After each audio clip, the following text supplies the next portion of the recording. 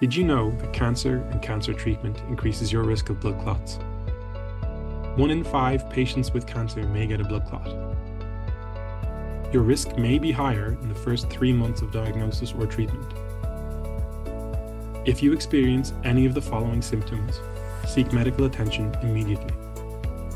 Swelling, pain, or heaviness in one leg or arm, or pain in the pelvic or buttock area, warmth or redness in one leg or arm, chest pain, particularly when breathing deeply,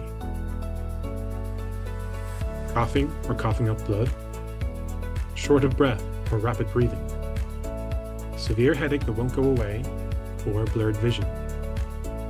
To learn more about blood clots, visit HSE A to Z Health Conditions.